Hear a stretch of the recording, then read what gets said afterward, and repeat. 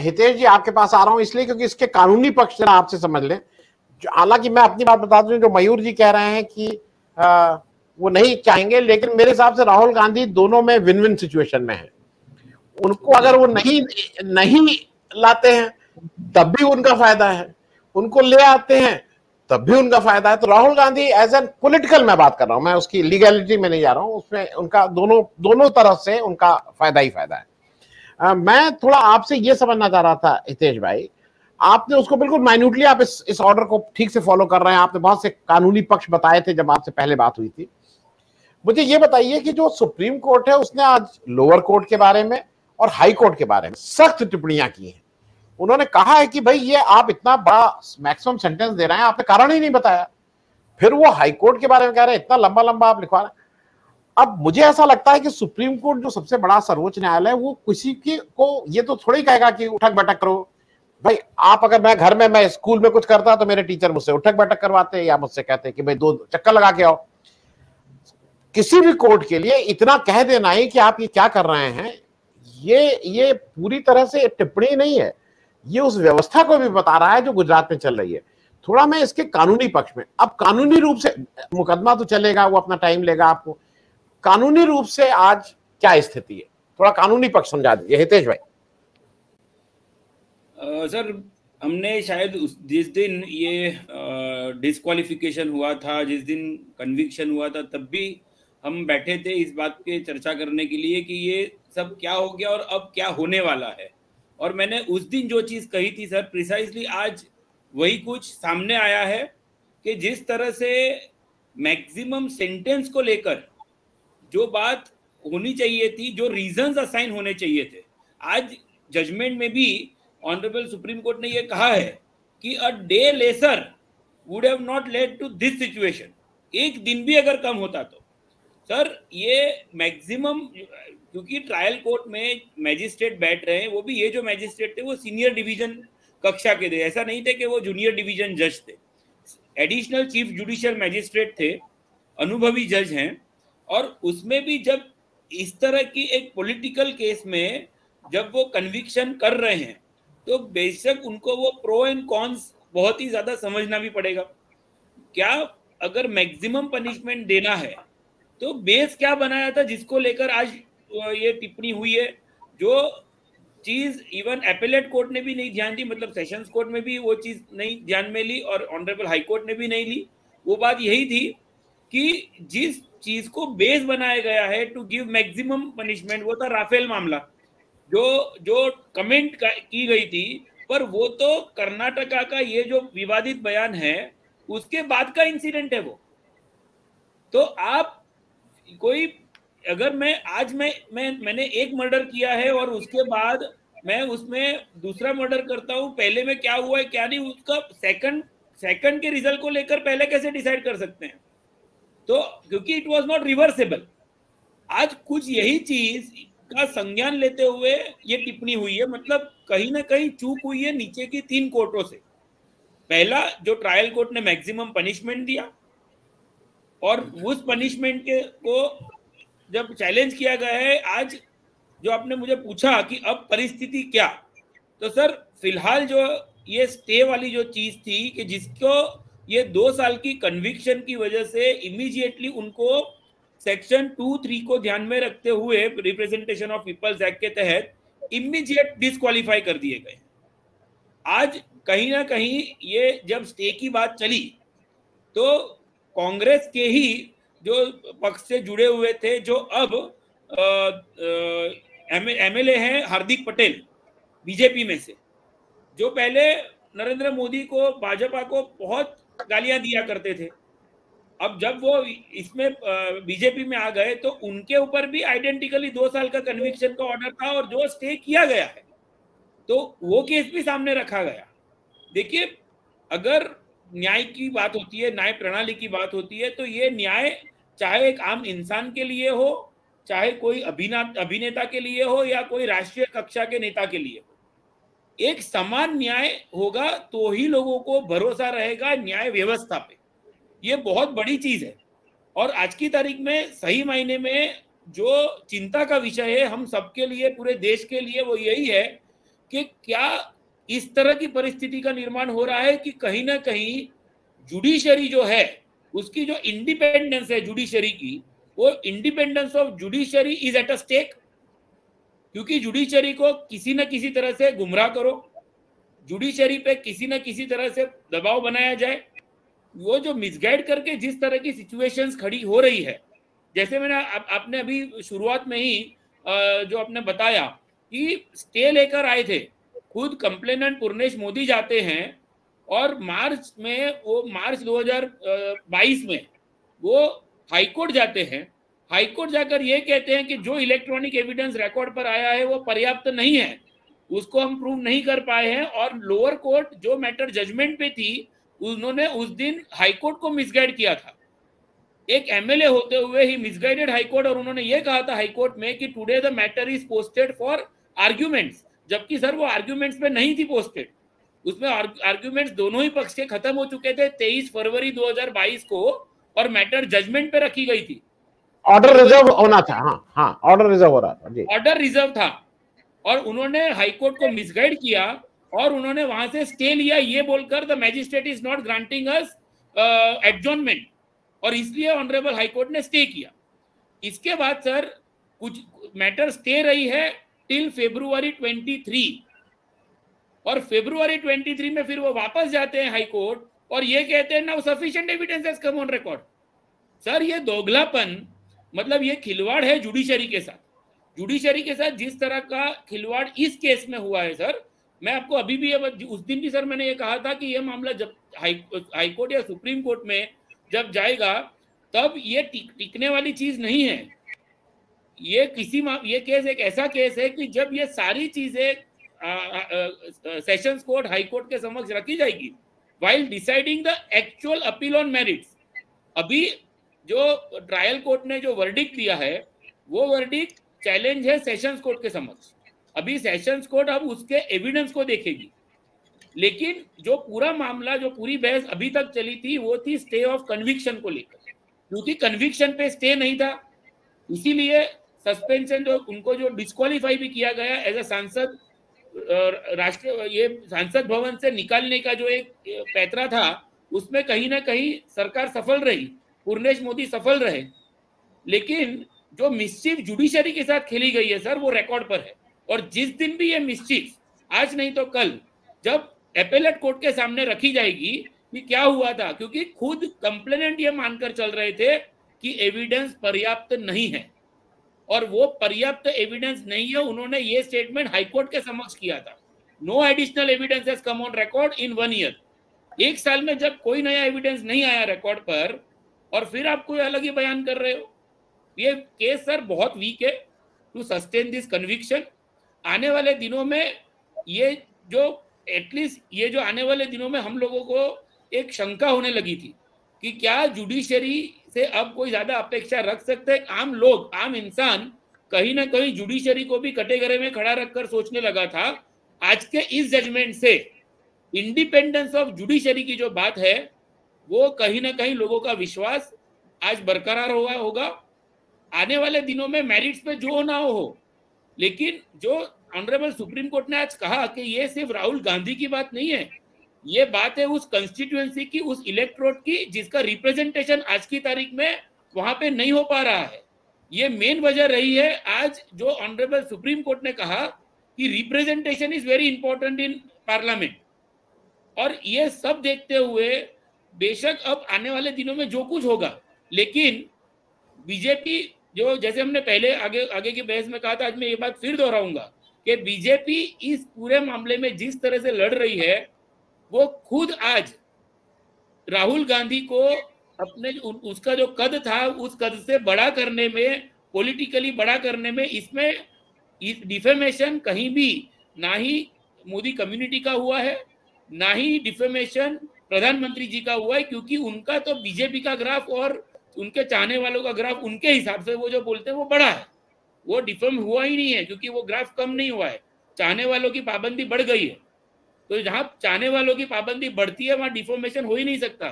Sir in fact देश में देश में नहीं दुनिया में यह परिस्थिति है कि अगर कोई मोदी बोलकर जाता है ना तो हर कोई मोदी सुनकर उनको आ, मान सम्मान देता है कि वो आप गुजरात से हो आप मोदी की दुनिया से हो करके उनका मान सम्मान बढ़ता है। तो अगर आप एक तरफ़ ये बात बोलते हो तो ये दूसरी तरफ़ डिफेम वाली बात सर सस्टेन नहीं होगी। और इसीलिए आज भाजपा ने और पूर्णेश मोदी ने राहुल गांधी के सामने जो ये बेबुनियाद जंग चला रहे थे, उसमें जो बैकफुट पर आना पड़ा है आज उनको, ये बैकफुट पे आने की वजह से आने वाले दिनों में जब कभी ये वापस राहुल गांधी संसद में जाएँगे, और जैसे मयूर जी ने अभी बताया कि जब संसद में उनकी वाहवाही होगी या उनको प्रेस किया जाएगा या राहुल गांधी जिंदाबाद बोला जाएगा तो वो जो परिस्थिति है, वो ये नए संसद में शायद राहुल गांधी अब पहली बार जब जाएँगे तो वो देखने वाली चीज़ होगी कि वो किस तरह से अब परिस्थिति को देख हितेश जी मुझे आपसे दो चूँकि प्रश्न थोड़े लीगल हैं मैं आपसे समझ लो। एक तो जो सुप्रीम कोर्ट ने भी कहा है कि भाई उन उन जो जनता वहाँ वायनाड की है उसका रिप्रेजेंटेशन नहीं है। दूसरा टेक्निकली नोशनल लॉस भी है राहुल गांधी का। एज अ सांसद उन्होंने बहुत प्रिवलेजेस खोई हैं उनके पास बहुत सी चीज़ें थी। तो क्या इसका कोई कानूनी पक्ष हो सकता है कि वो उसके लिए भी इनके पास कोर्ट में जाओ और कहें, साहब, ये हुआ है, इसका कुछ वो करिए दूसरा, मैं दर्शकों को भी बता दूँ और आपकी भी राय ले लूँ। आज एक और महत्वपूर्ण वो आया है।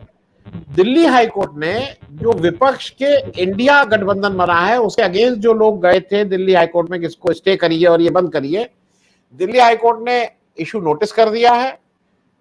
विपक्ष को एक, वो कहा है कि, भाई, बताइए आप क्या नाम? और 31 अक्टूबर की डेट लगाई है। इन लोग कहने लगे, नहीं नहीं, इसको इसको बंद करिए, इसको अभी आप तुरंत स्टे करिए।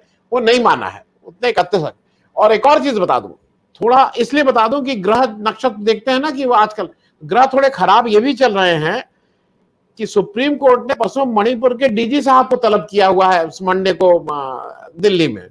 तो डीजी साहब कुछ नहीं देंगे तो उनसे वो मांगा गया है कि साढ़े छह हज़ार एफ़ का क्रमबद्ध करके दो कि कितनी एफआईआर हुई कितने में जाँच कितने में। तो वो तो पब्लिक डोमेन में आएगा वो तो कोई अच्छा ये बंद लिफाफे वाले हैं नहीं ये रिजीम तो मैं ये दोनों चीज़ें नोशनल लॉस वाली और ये जो डीजीपी साहब आ जाएँगे उससे मुश्किल तो बढ़ेंगे बीजेपी की ऐसा मुझे लगता है। Uh, पहले तो आप ये जो नोशनल लॉस है बिकॉज़ ये टेक्निकल था तो उस नोशनल लॉस को लेकर, एक कोर्ट के ऑर्डर से लेकर रिप्रेजेंटेशन ऑफ़ पीपल्स एक्ट में जो प्रावधान थे, उसका इस्तेमाल करते हुए ये सब कार्यवाही हुई है। अब इसके आगे की जो, अब उनको ये डिस्कालिफिकेशन का जो रिमूवल पोर्शन है, वो रिमूवल के जो पावर्स है ना, वो रिप्रेजेंटेशन ऑफ़ पीपल्स एक्ट के ही सेक्शन 11 में ये कहा है कि इलेक्शन कमीशन इसके ऊपर निर्णय लेगा।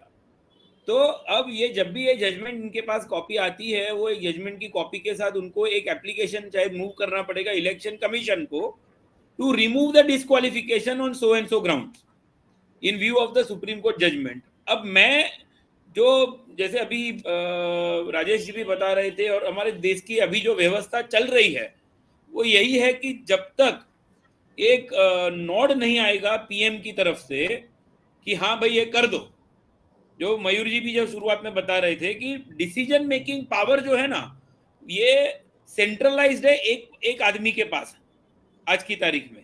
तो अगर इलेक्शन कमीशन के पास इस तरह की कोई एप्लीकेशन लगाई जाती है तो मेरा ये मानना है कि उसको हो सकता है कि किसी भी तरह से शायद डिले करने की टैक्टिक खेली जाएगी। तब जाकर वापस से लिटिगेशन की ही परिस्थिति। कि भाई मुझे 24 घंटे में इन लोगों ने निकाल तो दिया था, अब मैं जब वापस से एप्लीकेशन लगा रहा हूँ कि मुझे वापस ले लो। तो वो वापस लेने की मेरी जो एप्लीकेशन है, उस पर ये त्वरित निर्णय नहीं ले रहे हैं। और इसलिए there will be again some direction coming from the supreme court that why is the delay there are all possibilities कि इसको अब किसी ना किसी तरह से डिले किया जाए ताकि ये जो मानसून सत्र है, वो शायद खत्म हो जाए, तब तक अब ये ये जो भी परिस्थितियों की हम बात करते हैं सर हम जो हमारा मेन मुद्दा है राहुल गांधी को लेकर सर आज की तारीख में गांधी ये जो नाम है जो father of the nation Mahatma Gandhi को भी टच करता हुआ ये नाम। सर परिस्थितियाँ ये है कि आए दिन आए दिन सड़कों पर कहीं भी ये कहीं ओपनली कहीं भी महात्मा गांधी जी का, जिनका पूरा विश्व इज़्ज़त करता है, किताबों में जब हमें इंडिपेंडेंस की लड़ाई के बारे में पढ़ाया जाता है तो सबसे पहला नाम हमको महात्मा जी का, महात्मा गांधी जी का, बापू जी का बोला जाता है। आज क्या इमेज कर दी है उनकी? आप नाथूराम गोडसे को गोडसे जी करके बुलाते हैं ओपनली जिन्होंने उनका मर्डर किया है। आप, आपकी एमपी उनको जो गोडसे को देशभक्त बुलाती है। हितेश जी नहीं मैं याद दिला दूँ आपका गवर्नर आके कहता है कि गांधी के पास डिग्री ही नहीं थी। आपका गवर्नर है भाई वो मनोज सिन्हा जी। जी जी जी। मनोज सिन्हा जी सार्वजनिक मंच पे आके कहते हैं उनके पास डिग्री ही नहीं थी। सर वो भी जोड़ लीजिए। आनंद भाई वो भी जोड़ लीजिए कि अभी जो है यहाँ पे भिड़े साहब ने क्या कहा? गांधी जी की माता जी के बारे में। अभी अभी की बात है ना जिनको बोलते हैं मोदी जी की हमारे ये तो गुरु जी हैं प्रधानमंत्री जब बने तो वो गए उनकी सभा में उनके प्रोग्राम में। जी तो ढेर सारी ये ना ये ये एक्चुअली बहुत गंभीर मसला ये है कि जैसे बाबरी मस्जिद का जब तक वो डिसीज़न नहीं आया था तो ये जितने भी लोग इन्वॉल्व थे एल के अडवाणी जी से लेकर हर कोई जो बाबरी ध्वंस में इन्वॉल्व था।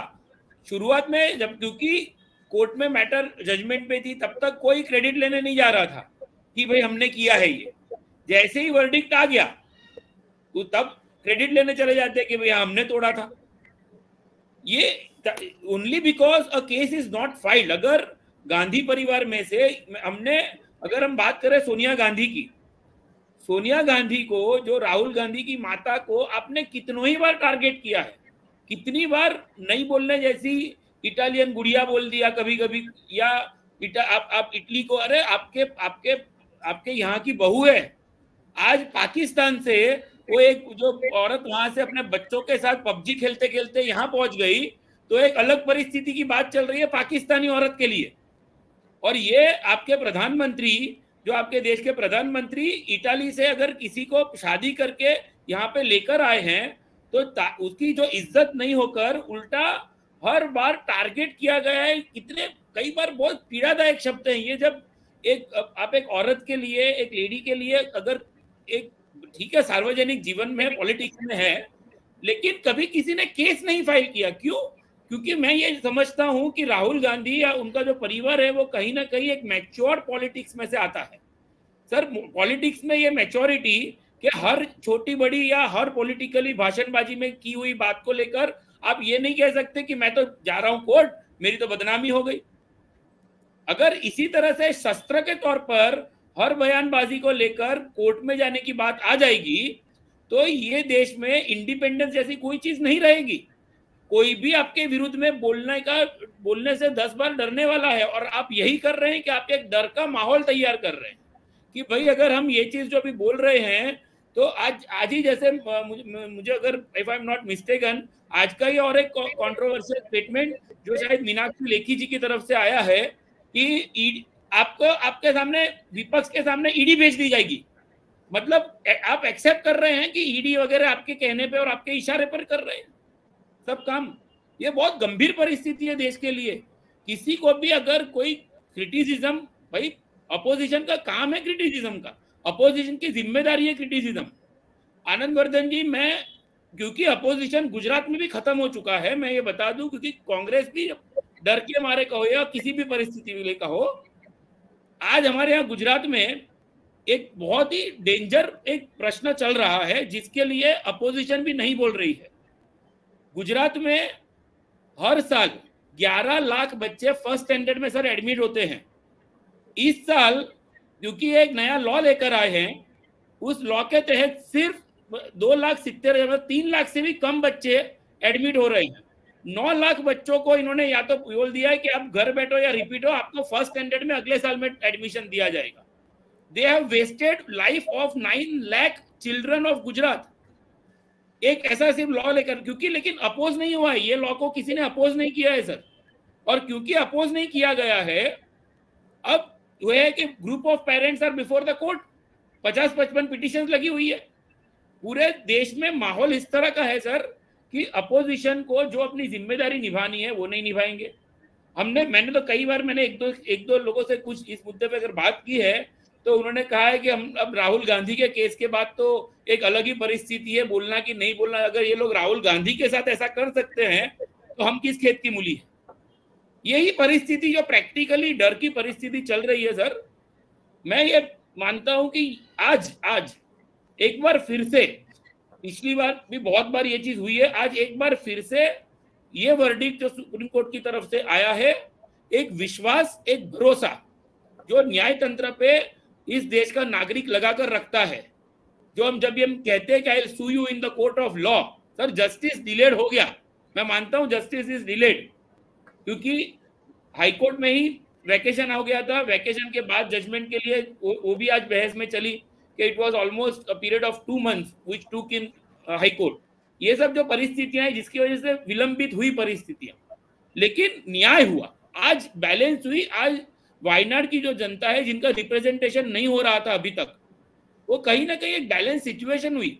अरे, किसी ने अगर गलत किया है तो let that be decided by the final court और इस देश की फाइनल कोर्ट जो है, वो सुप्रीम कोर्ट है। लेकिन जब तक सुप्रीम कोर्ट अपना वर्डिक नहीं जाए, अभी बंदा अगर बैठा है, वो सेशंस कोर्ट के समक्ष है सेशंस कोर्ट में अपील डिसाइड होनी बाकी है। सेशंस कोर्ट के बाद दोनों में से एक पक्ष हाई कोर्ट जाएगा, उसके बाद सुप्रीम कोर्ट जाएगा, तब जाकर ये फाइनली कहा जाएगा कि डिफेमेशन बन रहा है कि नहीं बन रहा है? और हो सकता है तब तक पूर्णे ये एज देखते हुए पूर्णेश मोदी जी की तो कब तक ये अगर डिले ऐसे ही चलता रहा तो पूर्णेश मोदी जी तब तक शायद कॉम्प्रोमाइज कर ले या ये कर ले कि भाई अब नहीं लड़ना है, जब तक पार्टी में था या सब चल रहा था सिस्टम के हिसाब से, तब तक ठीक था, अब मुझे डिफेमेशन में लेट गो कर दो। ये भी हो सकता है आने वाले दिनों में। जी जी।